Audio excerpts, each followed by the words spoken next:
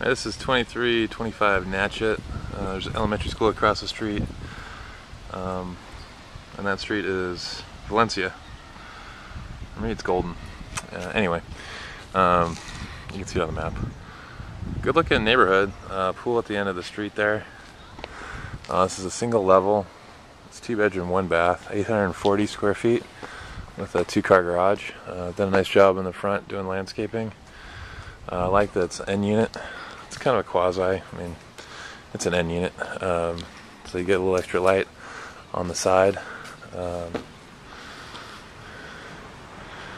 and then your neighbors right there. That looks like it's well kept. They did their windows. Uh, entry looks like your living room right away. And then um, little patio in between the garage and the house. Dining area below the light fixture. Ooh, wine bottles. Someone's been staging. Uh, you've got granite counters. Cabinets look like they're in decent shape. Um, they've been recently painted. New light. So this is pretty nice. Pretty much moving ready. Um, and then backyard. They've done some shelves. Done a little planer shed over there. Um, we'll go look at the bedrooms. We'll go hit the garage. So into the bedrooms, you have the bathroom right here to the left. This is all in good shape. I mean, everything is moving ready. It's bank owned, but it's, oh no, it's not bank owned. It's flipped. And this is kind of typical of a flip. You know, change the carpet, paint.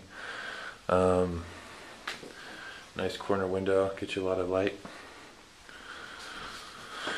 And then the second bedroom is kind of a 10 by 10 little wall unit there. Two wall unit AC units. Um, and then mirror doors here. Done some nice lights, so you can put a bed in here. Um, but yeah, this is moving ready. You're ready to go. We'll run out and check out the garage. I think I need a key for that.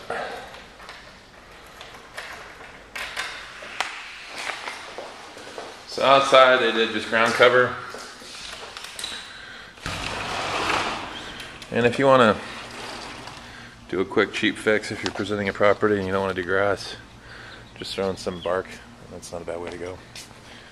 Um, I don't mind this little shed here. It's kind of cool. Let's get inside, see what we got. So it looks like a laundry is in here, laundry sink. Um, garage is two car.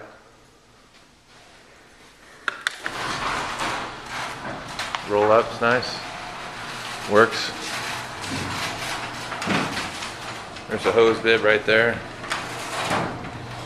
by the door. It's like a little closet area here if you needed it. Um, and then this gives you an idea of the parking. So just alley parking.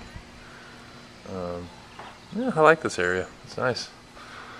And they've done a little drywall in the corner there. Um, and they've numbered things, which is always great for some reason. Um, cabinets, so just kind of a straight up garage. Um, improvements on this place, if you really wanted to push for some, would be the windows.